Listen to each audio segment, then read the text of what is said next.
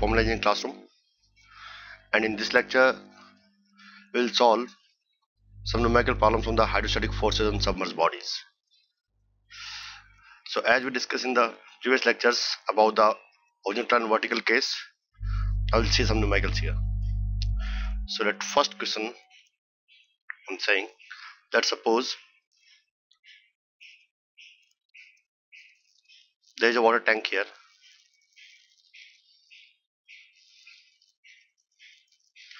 and let's suppose here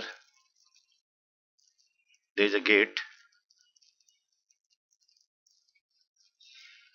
This is gate here. And that this is a hinge. That gate dimensions that we are saying this is 4 meter into 5 meter. This is a rectangular gate. So 4 meter is the height of the gate and 5 meter is the width of the gate. And let's suppose water is filled in this tank up to this particular level. And let I'm saying the height of water above the hinge of the gate is around at 6 meter.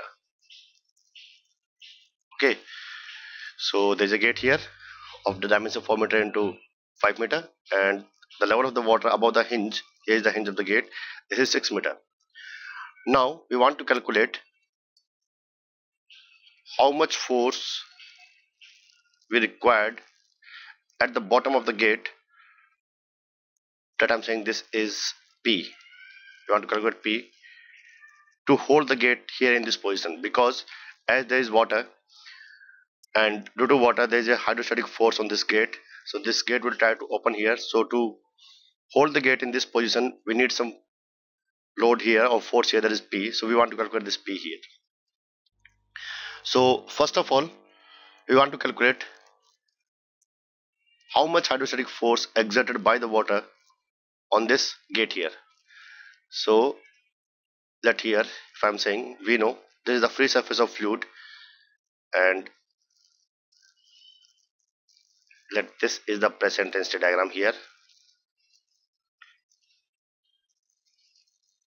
This is the pressure intensity diagram over the gate here. Or let's take a better look here if I'm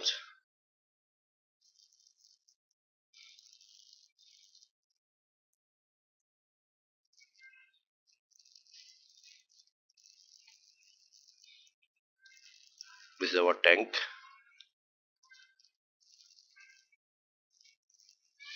And around here is gate. Okay this is our gate here. So width of the gate is 5 meter and height of the gate is 4 meter. And the level of water of the top edge or over the hinge this is that 6 meter. Okay so in this case just a minute. The pressure varying from the free surface of fluid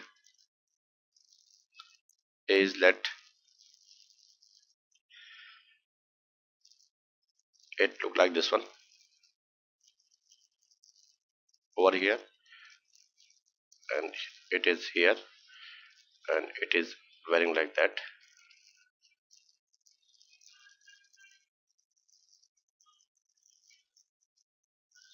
Okay so this is the variation of pressure on the gate. So in this case we want to calculate the first of all hydrostatic force exerted by this fluid on this gate so we know the formula that is hydrostatic force F will be equals to W A Y C. Here W is the specific weight of water so this is water. A is the area of gate. I think area of the gate is 4 into 5 and YC YC is the distance of center of gravity of the gate from the free surface of fluid. So obviously the height of gate here is 4 meter. So we can say that that is around here is the center of gravity of this gate okay.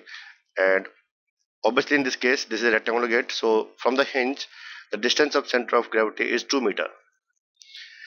So the yc yc is the distance of center of gravity of this body or this gate from the free surface.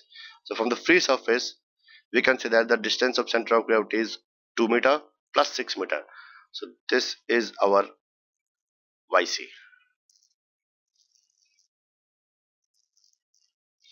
okay and this is 6 plus 2 that is 8 meter. So we know W is 9810 Newton per meter cube. Area of the gate is 4 into 5 okay this is 20 meter square. And YC is 8 meter so here the force exerted by this fluid on this gate will be equals to so we can write F is equals to 9810 into 20 that is area into 8 so let me calculate this one. So this value is 9810 into 20 into 8 so this is 1569.6 kilonewton okay so this is 1569.6 kilonewton so this is the force exerted by this fluid over this gate. So what is the point of action of this force? So in this case the point of action we can calculate by using the concept of center of pressure. So obviously the force will act at the center of pressure. So let around I'm saying here this force is acting that this is F here. And obviously this distance or the distance of center of pressure from the free surface is yp. So to calculate yp we know the formula. That is yp is equals to yc plus ic by ayc. Okay so we know the yc. Yc is 8 here so IC, IC is what? IC is the area moment of inertia of this gate about this self axis, this one. Okay, about this one. This is the area moment of inertia. So I think in this case, IC for the gate will become, this is 5 into 4 cube by 12. This is BH cube by 12. So here H is 4, B is 5 here. So BH cube by 12 is the IC here so what is this value? So just a minute. So this is 5 into 4 cube by 12 so this is 26.67 this is 26.67 meter power 4 okay we also know the area. So we can write IC is 26.67 divided by area is 20 into 8 okay. So here the yp becomes so let me calculate this one. So this is divided by 20 into 8 and plus 8 so this is 8 point so yp is equals to 8.167 meter. So again you can notice here yp is larger then yc so yc is 8 meter this is 8.167 meter. Okay so this is the distance of center of pressure from the free surface. Okay so this is the force acting here at the center of pressure and this force will try to open the gate and the gate will rotate about this hinge. Okay so this force is creating a moment about the hinge here. So we want to calculate that moment so let I'm using this space here?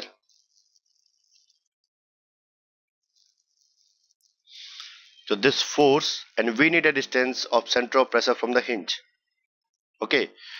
So I think we know the YP and I think YP minus this 6 meter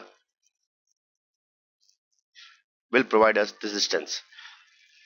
That is the distance of center of pressure from the hinge here. So this will be equals to so that if I'm saying this is y this one. So y is the distance of center of pressure from the hinge? So this will be equals to so yp is 8.167 minus 6 meter. So this is 2.167 meter. Okay so y is known.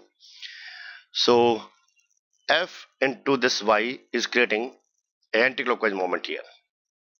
And to hold the gate we need to create equal moment but clockwise direction. So we are applying a load P or force P at the bottom of the gate and the distance of bottom of gate from the hinge is 4 meter.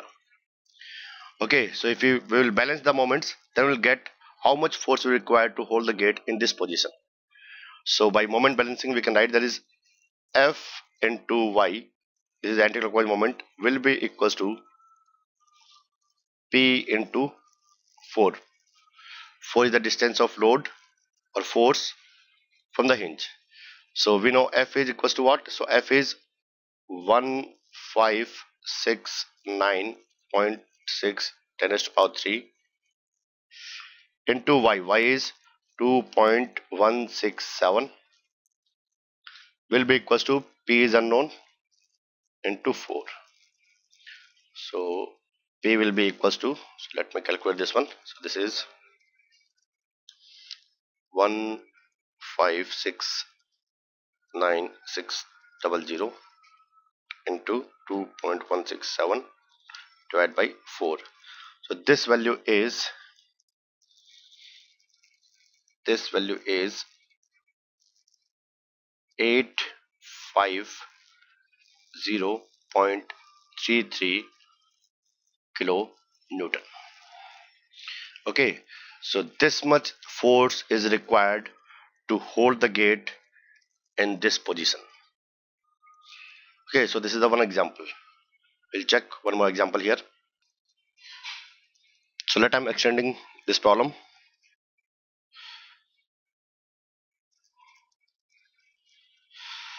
And now let's suppose we have a tank here again. Same tank. I'm taking the same problem but in a different way. This is our tank here and here is the hinge of the gate and this is our gate. Dimension of the gate is 4 meter into 5 meter. Okay and water up to this point. Or let I'm saying in this case the tank is closed. And water is filled completely here. But in this case this water is pressurized. Or the sense of pressurized water. So let's suppose here the top edge, edge of the tank is 6 meter above the hinge. Now this I'm saying this water is pressurized water. Means the pressure gauge mounted over this tank is indicating a reading of let 15 kilopascal pressure. So in our previous problem the tank was open to atmosphere and there was a free surface of water. But in this case the tank is closed and the water is pressurized and the pressure reading is 15 kilopascal here so obviously in this case this is not the free surface of water. And at this surface of water the pressure is 15 kilopascal. So obviously in this case the variation of pressure over the tank wall will look like this one.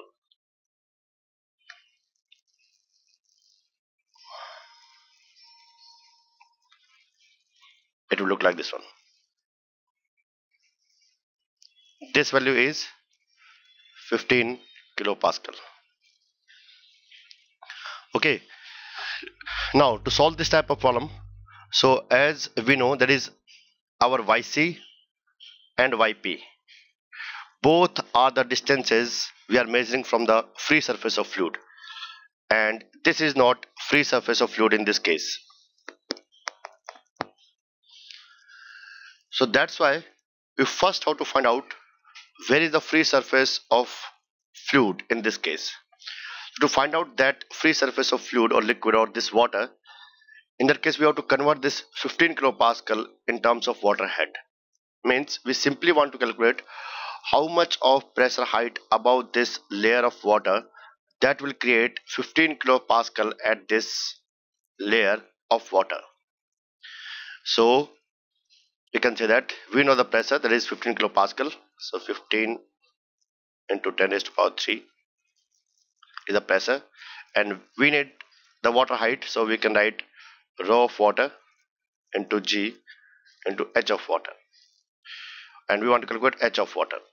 So this will be equals to 15 into 10 raised to power 3 rho of water is 1000 this is 9.81 so this is 9810 so this value will be equals to minute this is 15 kilopascal divided by 9810 so this value will be equals to 1.529 or roughly I'm taking that this is 1.53 meter. So to create 15 kilopascal pressure at this layer of water the required of required height of the water above this level is 1.53 so let I'm considering this tank is not closed but I'm considering this one. And the water level is up to this point. Okay this is the water level up to this point.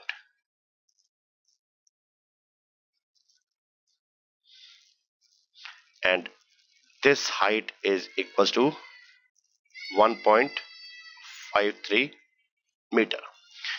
Okay now after calculating this height here is the free surface of water. This is the free surface of water now our problem is same as the previous problem but in this case the free surface of water is not 6 meter above the hinge it's 7.53 meter above the hinge. Okay and again if we want to calculate the force required to hold the gate here then we can calculate what is yc so this is the center of gravity here so we can calculate yc in that case we will calculate yc from this side this level. This is yc and around here is the yp where the total hydrostatic force will act. Okay so this will act. So this is center of pressure. So this will become the yp like this. And you can solve this problem by moment balance in this case obviously in this case the hydrostatic force F will be different because the YC is different. The gate area will remain same. The specific weight of water is same.